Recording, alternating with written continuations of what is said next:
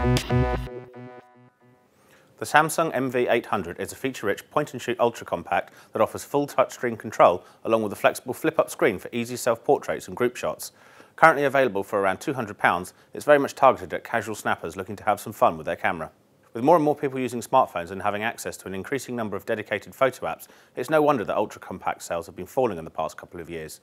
In this respect, the Samsung MV800 is well placed to lead the fight back, boasting not only a smartphone-like user experience through its touchscreen operation and tile-led interface, but also plenty of app-like shooting modes that can be used to jazz up your images. Employing a 16.2 megapixel sensor alongside a Schneider 5x optical zoom that offers a focal range of between 26 and 130 millimeters in 35 mm terms, the MV800 also benefits from a 3-inch 288K dot TFT screen that opens up 180 degrees from the body.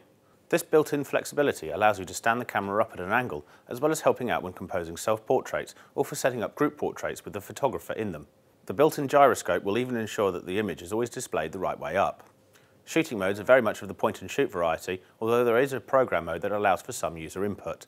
The real appeal of the MV800, however, is the sheer number of fun, useful and, well, plain silly shooting modes on offer.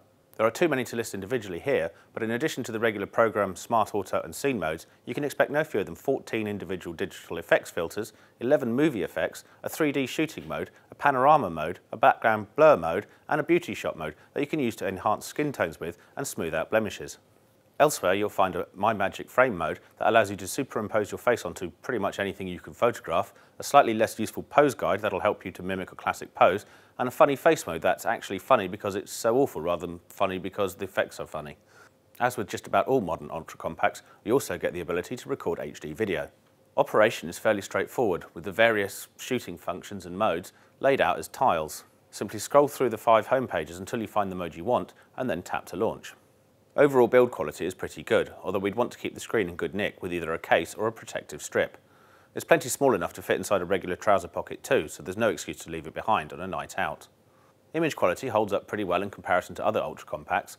Of course, under close examination, the limitations of a small sensor do become apparent, but viewed at regular monitor and smaller print sizes, images deliver plenty of punch and immediacy. The Samsung MV800 is a flexible and fun little ultra compact that delivers perfectly acceptable image quality and is a breeze to use.